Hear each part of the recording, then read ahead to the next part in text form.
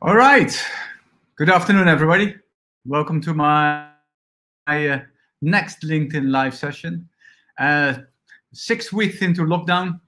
If you're not used to working from home by now, I think uh, we've, we've got we have a different conversation to have.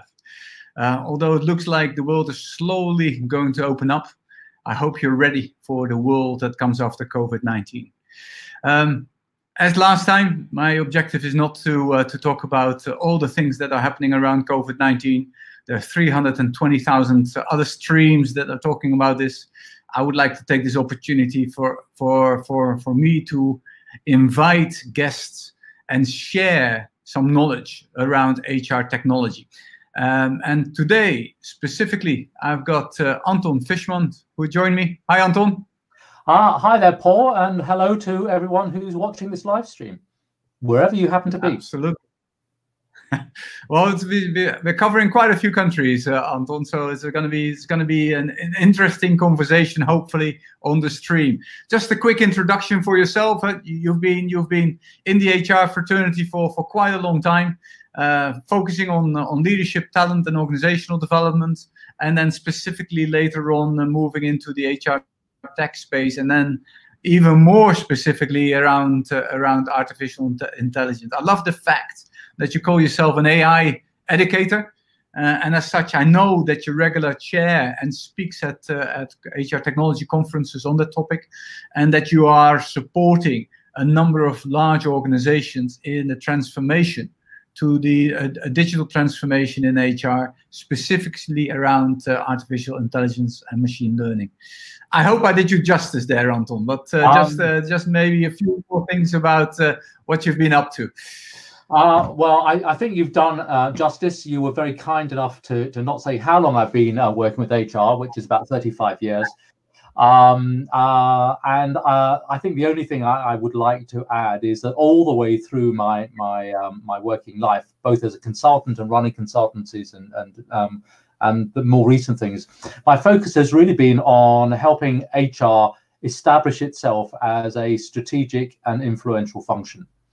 Um, mm. uh, I'm helping HR raise its game, and uh, my involvement uh, in this space at the moment uh, is not because I'm a techie, I, am not, but because I see this as an extraordinary opportunity um, for HR to uh, connect to a major change challenge that, that businesses have as, as they themselves adopt AI and machine learning, and how HR itself can shift its proposition and improve the service qualities to the business and to employees through the use of these technologies. So, first and foremost, it is yet again about HR and HR's impact.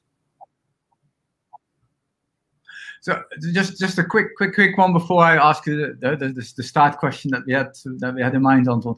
Have you has you seen an acceleration in, in HR adopting technology in order to reframe their position and to offer different value? Um, look, HR has been um, playing with technology for a long time. Um, uh, as we know, um, the introduction of uh, large-scale HR information systems goes back 20, 25 years. Uh, HR has um, slowly become adept at using that, um, the transition to the cloud. Um, uh, but uh, most of the uh, the challenges associated with that have been the challenges of implementing large-scale IT systems, which often have taken a year, two years, three years to implement effectively. What's really interesting now is that we have got um, a vast array of innovative uh, young consultancies who are bringing new technologies and new capabilities, which can be implemented really very, very quickly. And what I've seen over the last mm. three or four years is um, great curiosity um, and increasing interest and appreciation of the differences that this can make.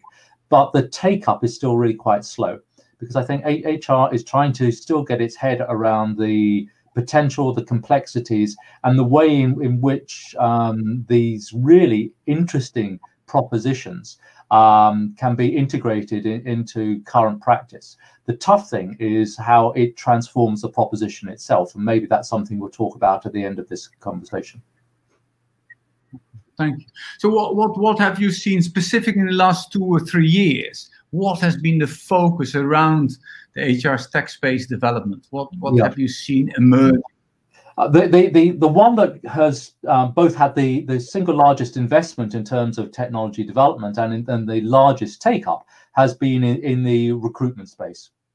Um, mm. In many ways, the ability to partially automate to gain deeper insights and to personalize the experience of candidates and to provide better person job matching uh, really suits these emerging technologies. And it has been the, uh, it is the most mature area of application. Um, and I think there are very few organizations who are not checking this space out, and quite a lot who are now getting practical experience there. Uh, but there are many other areas of, of, HR practice that are beginning to explore uh, the, the use of this, and some, some of which are um, uh, about back office automation and, and um, uh, tier one um, query handling in call centers.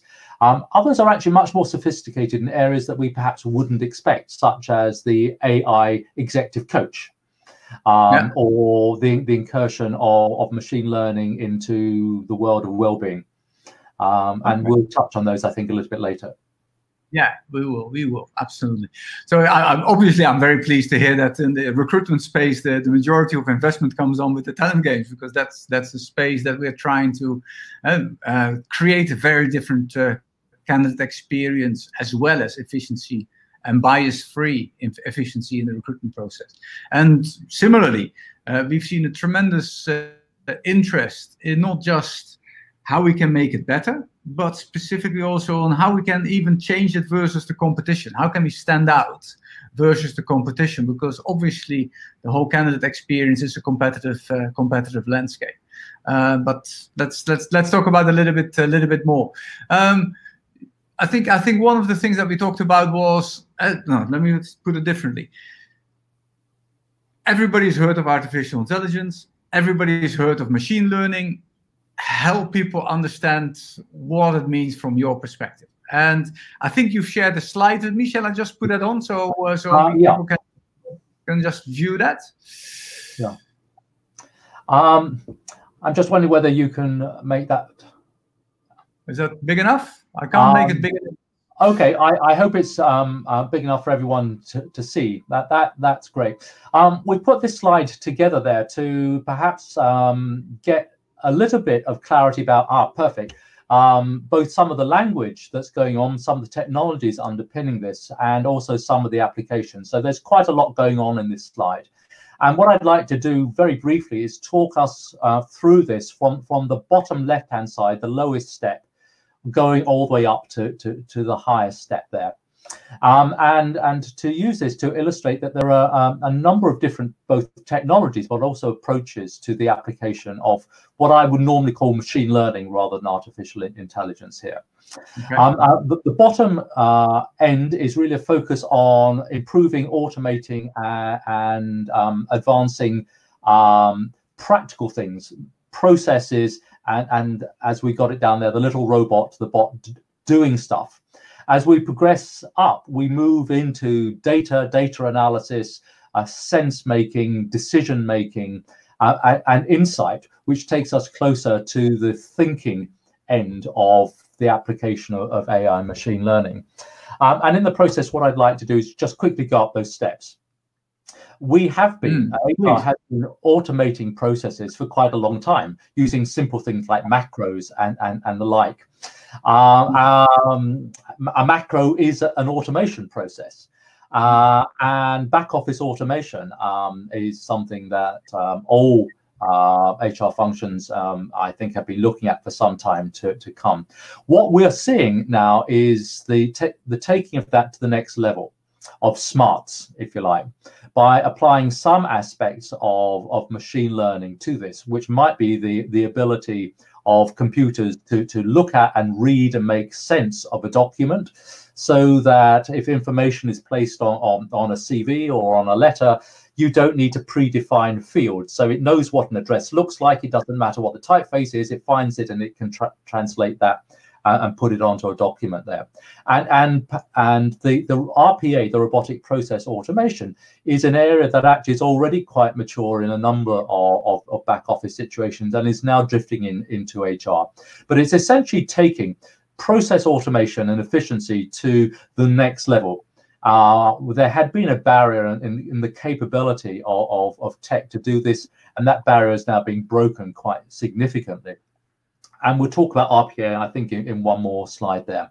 But if we move out of the, the, just the automation of processes and the intelligent automation of processes, which, by the way, drives efficiency and cuts down um, uh, the amount of time that, that, that people are doing what, in all honesty, are boring and robotic jobs just done by humans, and, and move on to the data side.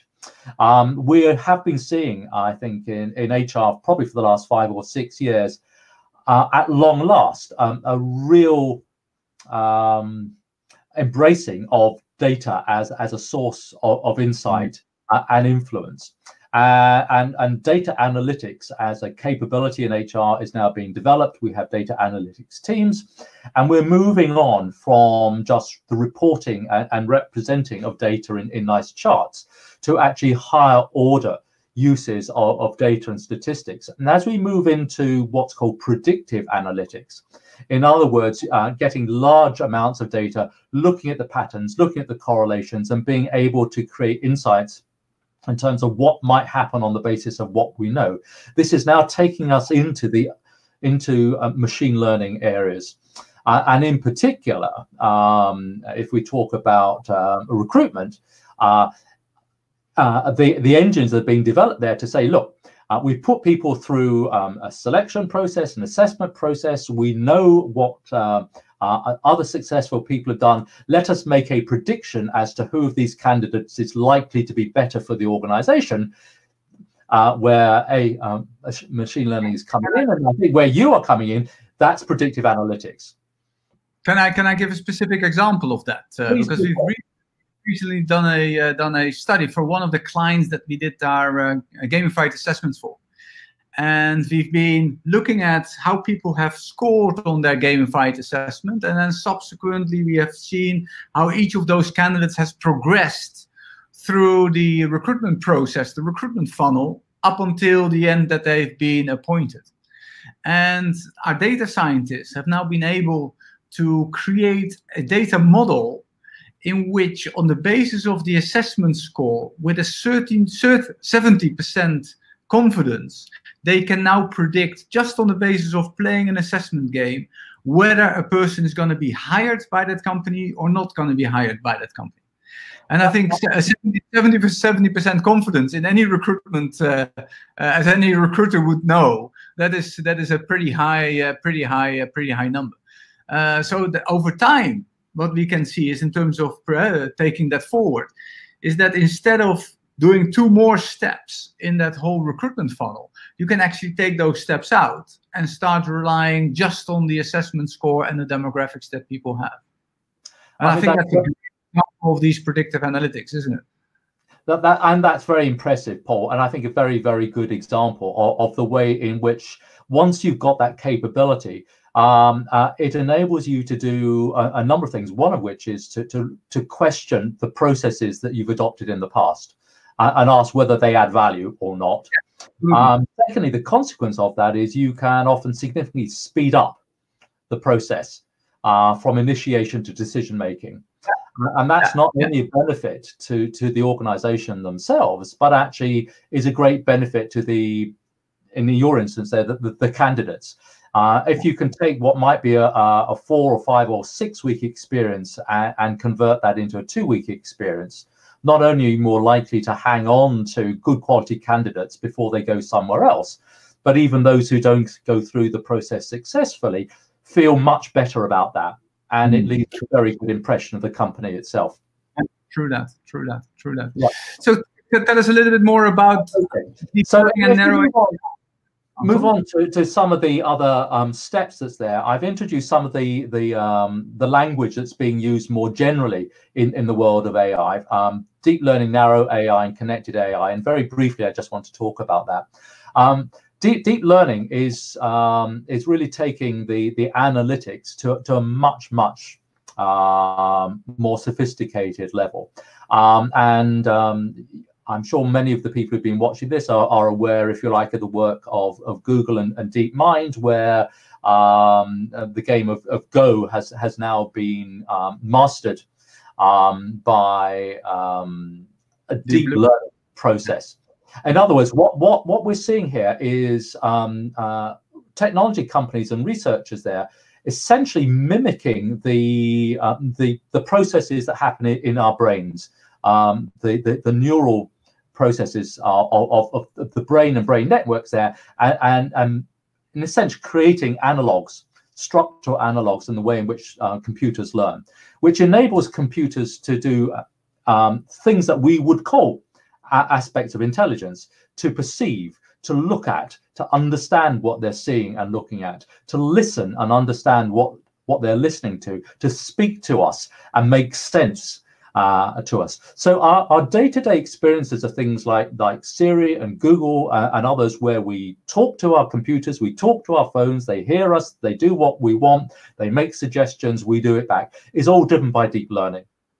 And this deep learning technology is now powering um, other technologies that are supporting the HR space. Because if, if AI can listen to you and talk back, then it can also be your coach, for instance.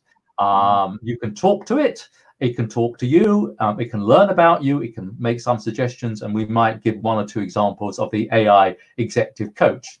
Um, it may be able to listen into conversations and do a behavior analysis, uh, as one of the uh, the startups that I work with is doing, that, that listens through um, deep learning processes to um, team meetings and gives feedback to, to the team leader about how the, the meeting has gone and how they could have um, shared that better and feedback to the individuals about their contribution and how they oh. might have, all wait, of these wait, wait. that, that, blows my mind so you, you're saying that there's a startup that's working on recording and listening in on meetings and telephone conversations and on the basis of that recording interpret that and give the line manager suggestions on how he can do better in terms of leading his team? Absolutely. Company called winning minds. Um, now that that could not happen without the advances that have been made in the last two or three years in, in the thing called deep learning and a, a, narrow field called natural language processing nlp wow. um, moving on to that, that very, very specific application, which, which you, you picked up there, which is to, to listen to, to a team meeting and analyze it, is, is what's been called narrow AI, um, where, where you have got a very, very specific application of these technologies to solve a very particular problem that takes a long time to train.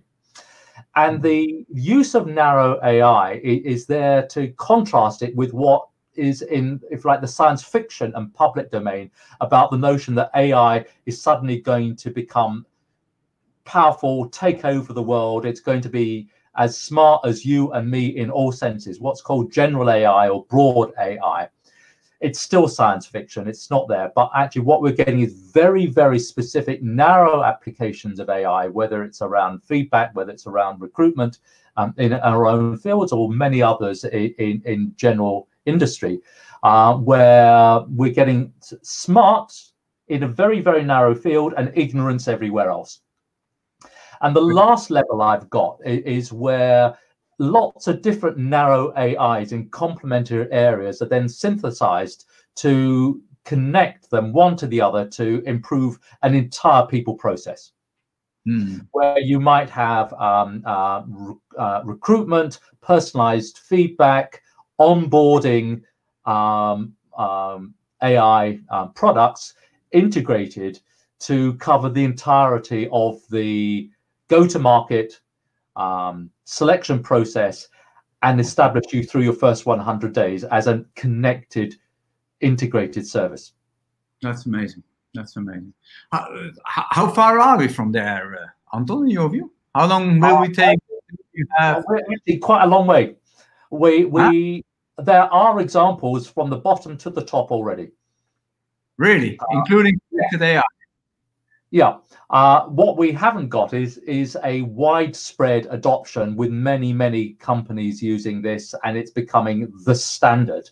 But I, I have seen and I know of organisations who who are are doing everything in every single one of those boxes, and I know companies who are developing products um, uh, in in all of those two.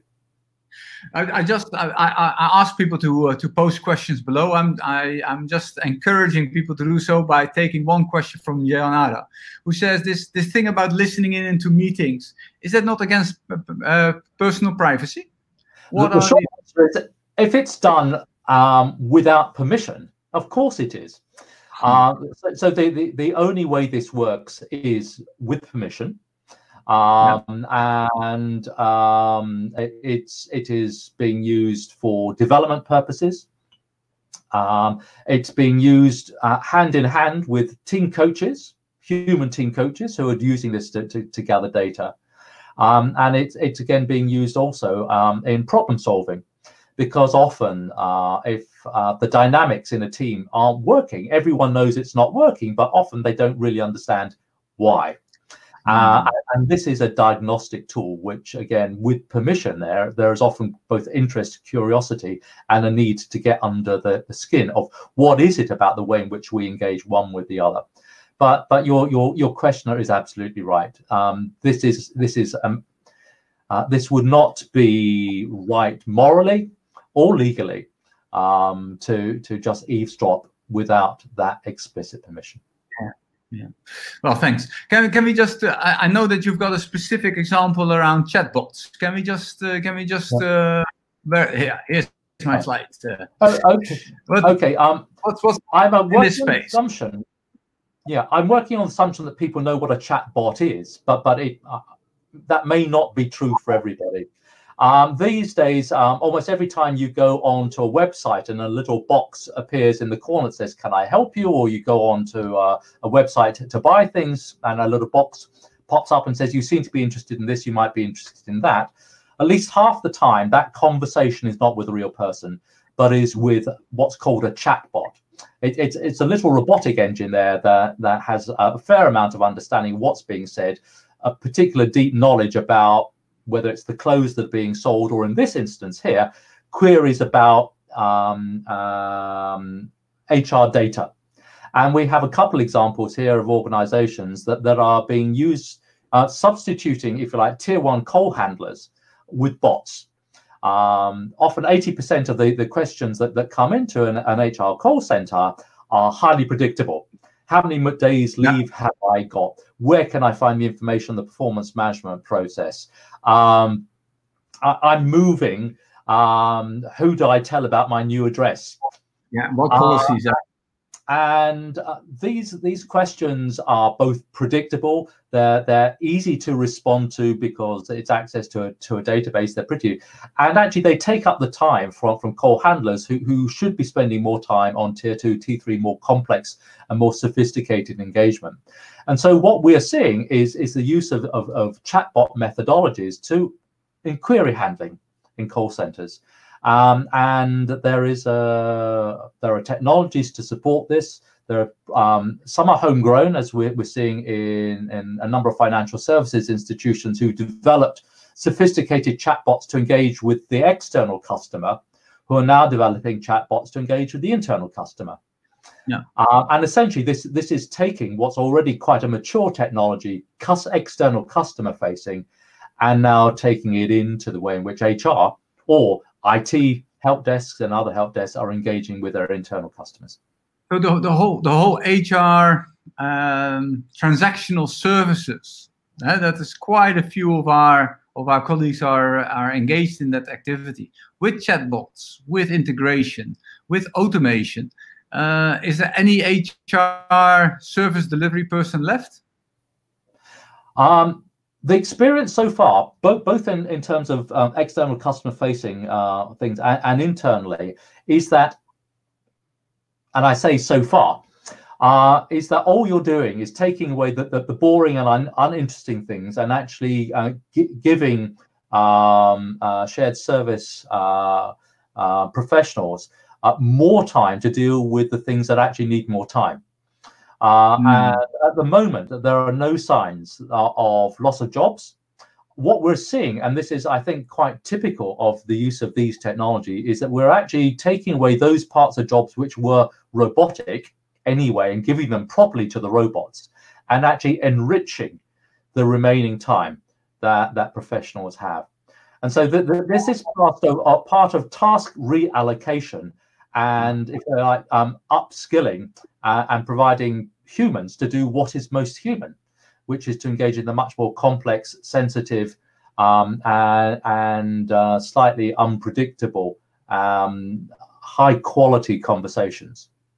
But that, but that's, and um, maybe we talk a little bit about it at the end when we talk about HR, how HR can adopt and work towards it. But one question from Wakasa just got is also that uh, how can you people that are that are focused on this this this more efficiency different processes that are used to doing this for the last 20 25 years uh, taking them out and doing more uh, uh, uh, uh more advanced roles is of course a huge transition that either they're not capable or sometimes they're not willing to do so so that whole change management component of getting organizations to adopt that kind of technology is of course extremely important correct Absolutely correct. I mean, if, if HR knows anything at all, it should know and understand the issue of, of change and transformation at a personal as well as an organizational level.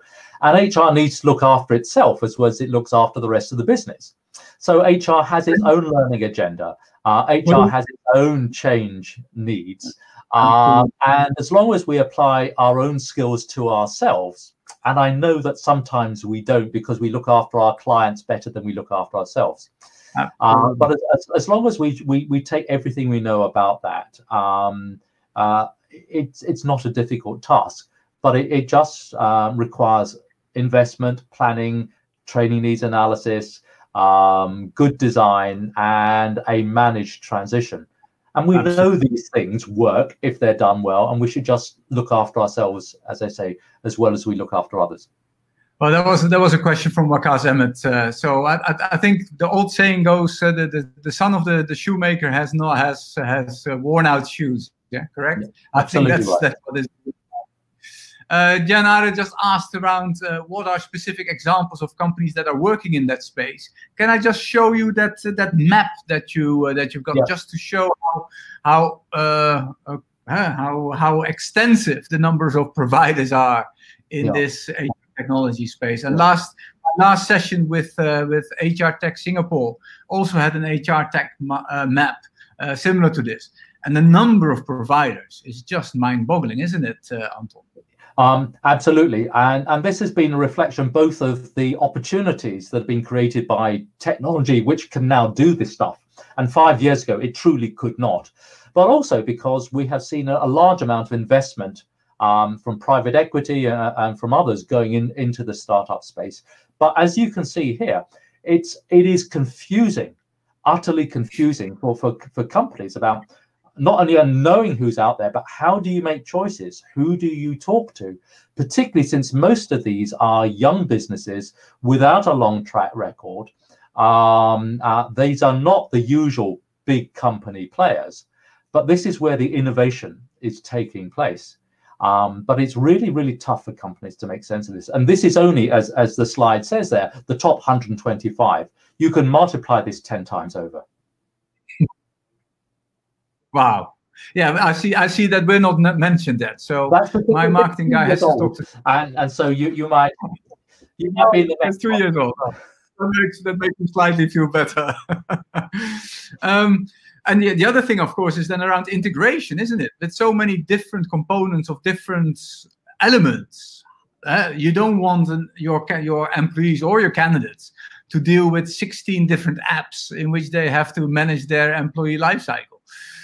Uh, so I think that's that's the other big big question. That of course, do you think that's going to change? Is there going to be a yeah, well, being integration over time that makes that easier?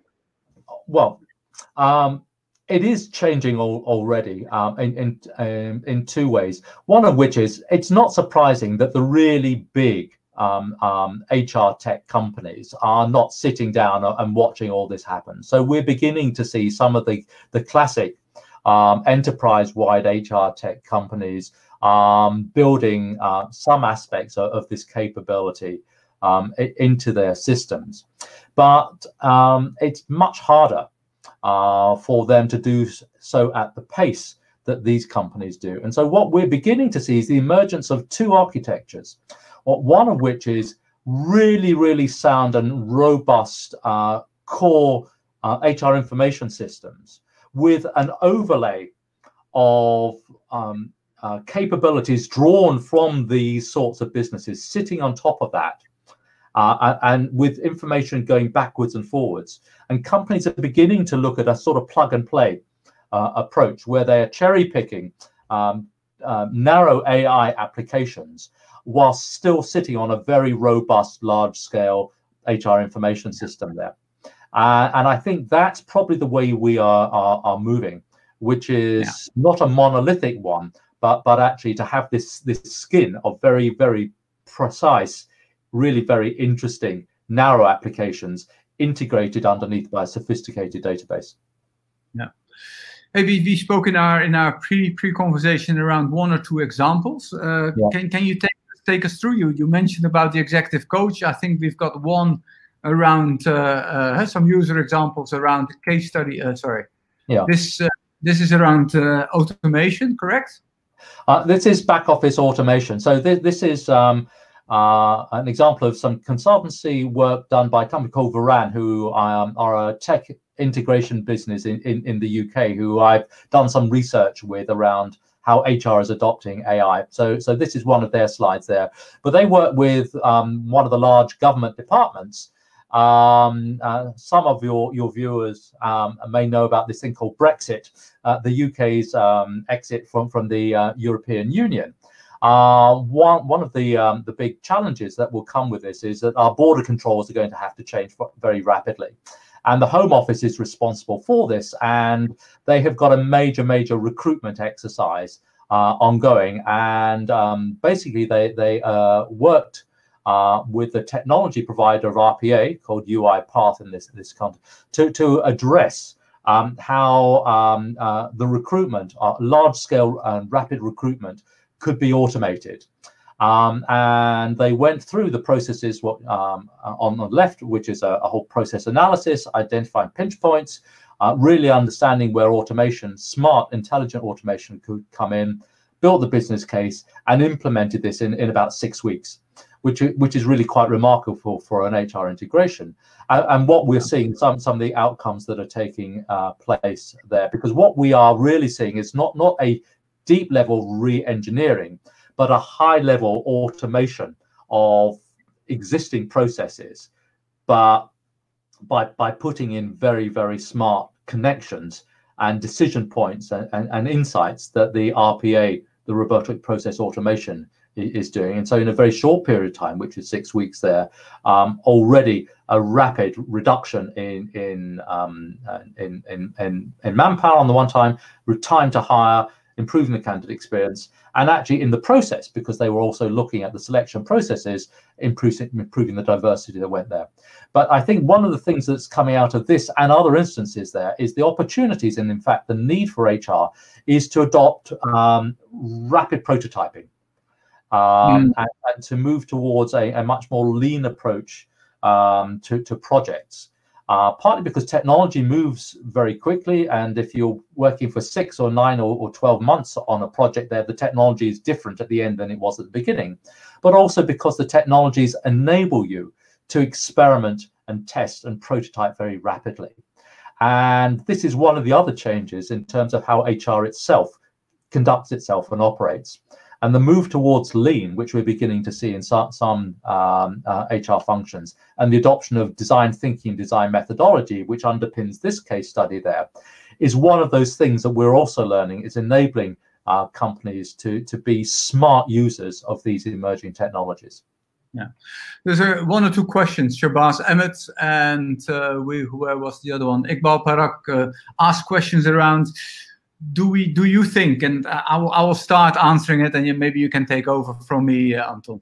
Do you think that emerging markets are ready to take over to start implementing these kind of, of, of ai solutions? Um, my personal view and please add and or change that if if if, if, if need be. I don't think that there's a that there's a significant difference between developing or developed countries and the ability to adopt AI. I think at the end of the day, it's all around what is the value that that they're gonna create. Yeah, and whether that value is efficiency, which is probably more in a developed country because of high salary costs, or whether that's to do with a employee experience or a candidate experience. I do think that there's not that there's not a that there's not a significant difference, and of course within an emerging market or within a developed market, there are business leaders or CEOs or owners of companies that are that saying that this is all hocus pocus and we're not interested. But there's also quite a few of them in any part of the world that says, yes, I can see the value and I want to innovate and take this forward. Do you think there's any difference? Um, I, I agree with everything you said, but I, I, I'd, I'd like to add just two comments. Uh, one of which is I really don't differentiate um, between the, the, those two two different um, marketplaces, if you like, when it comes to the quality professionals. Um, um, I, I, think that the, the training, the development, and experience of a lot of people in HR is very high. Um, um uh, uh, in in in your part of the world, Paul, uh, uh, and, and elsewhere. My analogy uh, that I want to use, uh, I think, comes from from telecoms. Uh, one, one of the things that we actually saw about 10 years ago was that in the developing world, the telephone system there was lagging a long way behind that of the developed world. Along came a new technology, and in a matter of a few um, years, what we saw was that um, telecoms uh, in, in what were so-called developing countries were suddenly more advanced than in other parts of the world. And I, because they were able to leapfrog old technologies, they didn't have some of the, um, the, the, the generational complexity of going from, from generation three to generation. They just went from generation one to generation four without stopping. I think this is the opportunity in developing. There's no reason not to go straight to the most sophisticated applications of these technologies in one leap. And it might even be easier in the developing world to, to, to jump to the, the front than it is in more sophisticated and complex organizations who are deeply embedded in a technology that's difficult to let go of. And that, that, that brings us directly into the conversation around huh, if I'm an HR director of an organization, what what steps should I take, or what how do I start myself on this journey or digital transformation, and specifically using AI? Right. I, I think that there there are just two or three things um, that that I, I would suggest, and the first one is start learning. Um, this is my AI educator hat. Um, it's not as complicated as it seems. And indeed, what I can do is I can send one or two links uh, to you, Paul, to, to pass on to other people. Uh, I, I introduce myself as saying I'm, I'm not a techie. Um, I, I just read a lot about this. Um, and it, it within two or three weeks of, of, of, of reading, uh, uh, reading some articles, reading one or two books about this, uh, just keeping up to date, uh, and, and making sure that your teams around you have sufficient but not deep understanding. It, it, adds not only an insight to HR, but actually enables you to, to start to have credible conversations with the rest of the business. Uh, and once you start to, to be credible, and once you get your colleagues and senior leaders in the business to really be asking themselves the question what does AI and machine learning mean for us, for our competition, for our marketplaces, for the opportunities to change here? Uh, you can lead that conversation, which is not normally the place that HR has. Secondly, get to know and understand the marketplace. Uh, you don't actually have to to figure out uh, who are these thousand companies there, but start to do a little bit of investigation as as to who are doing some interesting things. What are the products there, and also come to uh, some some very very simple criteria about how you would judge for yourself uh, whether these are really well-founded um, companies and well-founded products, or whether there is hype. So if you can become, an, if you know the marketplace, if you become generally aware and understanding, so you sound credible to your colleagues and to your your your, your senior management, and if you are able to make um, an informed purchase and start experimenting with this, you've gone a long, long way and you can do all of that in hmm. six months. so Sajad just asked the question of how, and that fits a little bit in terms of understanding the market and solutions that are out there, because he asked how many of these solutions are advanced data models at the back or just truly AI or machine learning platforms. And that fits a little bit in our conversation around uh, that everybody project, projects themselves to be uh, uh, at the forefront of, uh, of, of technology. Maybe not as many are. So how, how would I how would I go through that bubble? So first of all, uh, he's absolutely right. Um, there has been so much hype about this. Everyone is now saying AI this, AI powered this. Um, uh, there was a lovely piece of, of, of investigative research um, only about six months ago that came to the conclusion that at least 40% of so-called AI products have no AI at all. Um, uh, uh, a fair amount of others are have um, um, quite sophisticated decision trees behind them, but actually don't have AI. Um, others, uh, um, as again your questioner said, have got some pretty good data analytics, but no AI. I, I would say probably uh, machine learning and AI is, is, is well established in 10 to 15, maybe 20% of these. And, and so, first of all, you're right to be skeptical, um, but it's not to uh, on the basis of excluding all claims. You just need to, to, to formulate some simple inquiries to, to get um, the vendors to be able to explain how it is, um, what, what are the learning sets that they used, and the ones that I find most interesting are, are, those that are not only most open, but also talk about the limitations of their technology uh, as well as their capabilities. Uh, and if people are, are, are willing to do that and are able to say very clearly what it can do, what it can't do, what it might be able to do, and how they're investing um, in some of the deep learning technologies and the data in order to, to learn, then I think you've got something to trust. Can I? Uh, I've got two more topics, and then maybe one or two other questions, if you if you allow me, Anton. Of course. Um, one is one is around. Uh, we talk about digital transformation. Uh, we talk about automation. Uh, Sarah's just asked a question around how can you make sure wh where does the human element still fit in? What what how how is that gonna how is that gonna emerge? And linked to that maybe then the whole moral elements around AI and machine learning and applying that in uh, in in, uh, in HR? Yeah, and I know these are big questions. I, I, think they're they're great questions, and and you know I can talk about this for a long time. Uh, let me just um, pick up on, on on the where does the human emerge? I think the humanity emerges when we take the mechanical out of what we do. Um, ah. um, uh, so uh, what I'd like to do is, is to throw just another term into um, this. So AI is beginning to be discussed and, and, and, and used as augmented intelligence rather than artificial intelligence. And what lies behind this is, um, I, I, think, a very, very um, satisfying um, understanding of technology, which is that technology is there is to augment the work that we as humans do not mm, to like not that. to replace that.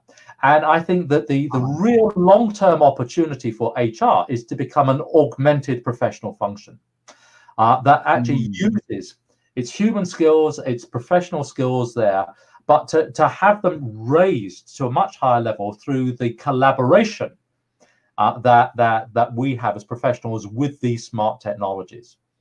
Um, uh, so these are augmentation tools. And, and, again, the simple analogy that I have, uh, uh, and the audience I found least worried about this when I, I, started to talk about this four or five years ago were architects, but I, and, and people involved in in uh, uh, manufacturing design. Uh, things like computer aided design, very, very smart technologies have taken away what used to be one of the core skills of, of people, of engineers, and which was to sit at a drawing board with set squares and and and and and to draw things. And that that skill has gone. Architects often define themselves with their draftsman skill.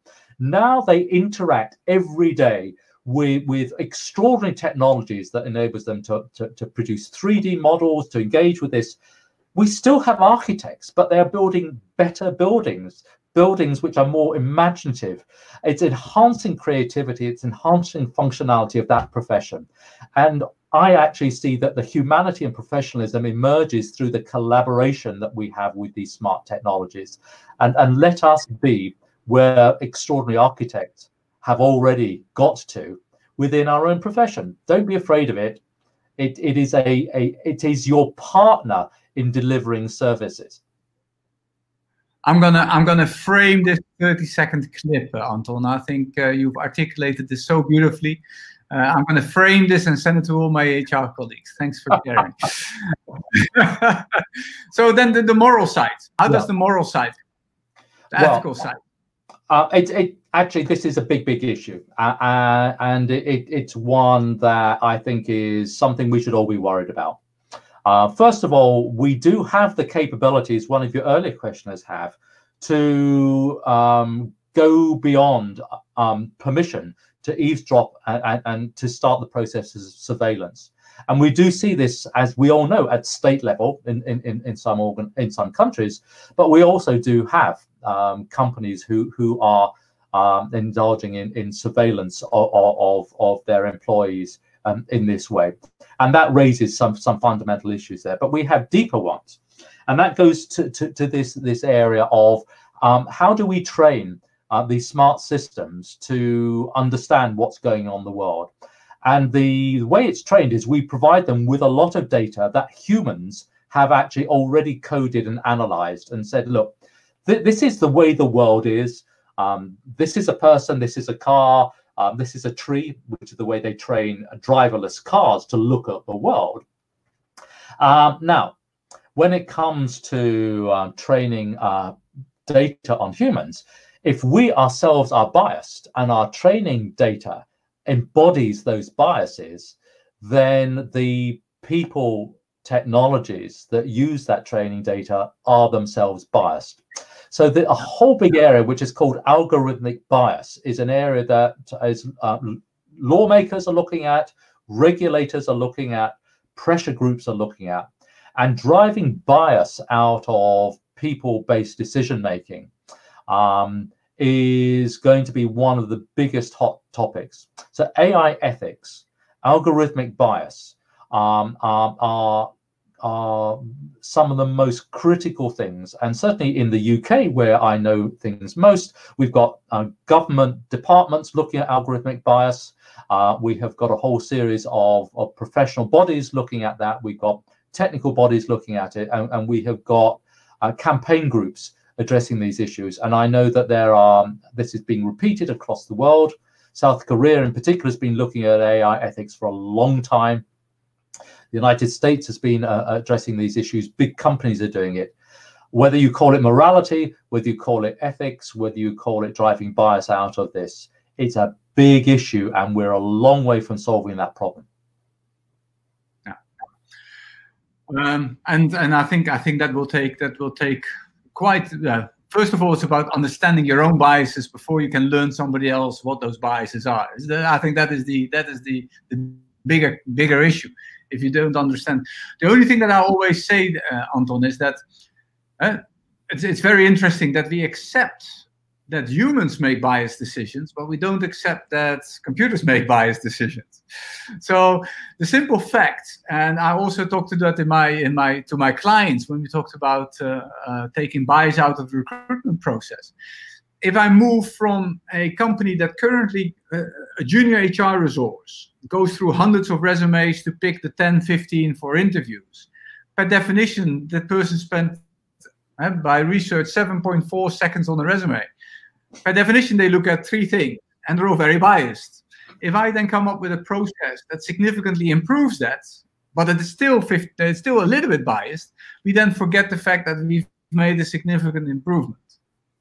You're and sometimes I, I, we, we lose. It's a, it's my favorite example of, of Wi-Fi in planes. When we have no Wi-Fi in planes, we didn't complain. I wanted to say another word. We didn't complain about it.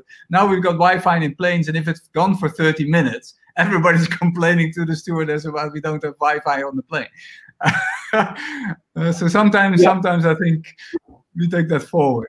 Yeah, sorry, but uh, no, I, I totally agree. um, but of course, this is another bias.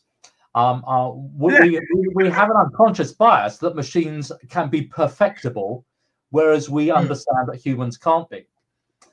Yeah, uh, and so we, we impose that bias on, on, on, the AI systems as well.